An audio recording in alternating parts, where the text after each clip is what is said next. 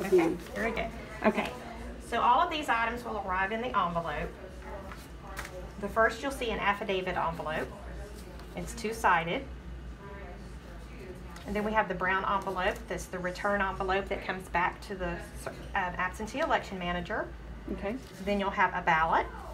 You'll vote about the, the ballot there was by making a circle similar to this. When you're done with the ballot, you'll fold it in half. And then it will go into the secrecy envelope, okay, so right in there. Also inside are some instructions to help you. all righty. And And on- once- that affidavit envelope, which one was that again? that one? This one, uh-huh, and it has the back side. And so on that one, And you'll put the secrecy envelope in here, oh, okay, like that. all right.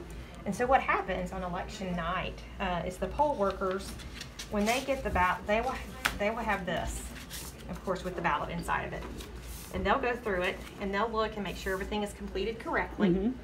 and then they will open this.